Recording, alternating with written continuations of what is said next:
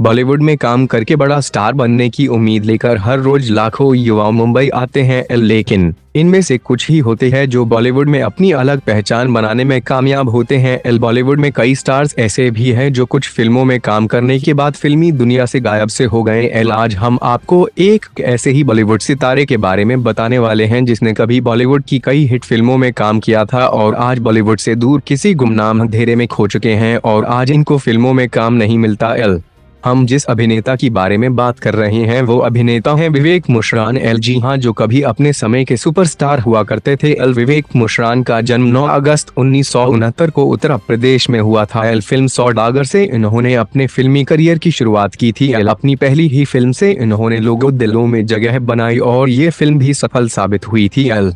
ऐसा रहा इनका फिल्मी करियर।